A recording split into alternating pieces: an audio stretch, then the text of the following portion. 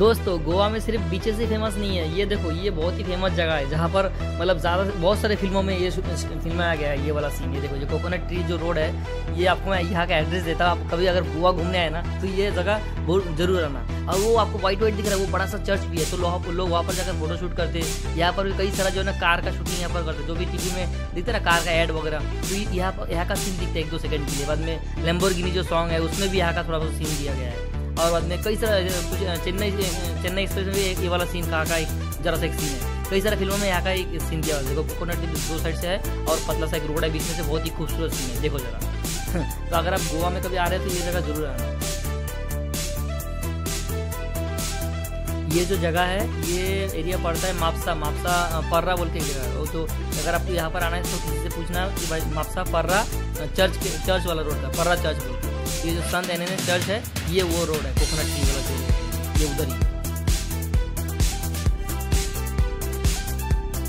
तो दोस्तों, आपको अगर गोवा से जानकारी और भी बहुत सारा अगर जानकारी चाहिए कुछ भी अगर गोवा से रिलेटेड कुछ भी जानकारी चाहिए तो आप मुझे कमेंट पे बोल सकते हो कमेंट में लिख सकते हो। मैं आपको हर जानकारी प्रोवाइड करूँगा, वीडियो में आपको हर चीज़ें बताऊँगा। कमेंट में मैं रिप्लाई करने का कोशिश भी करूँगा।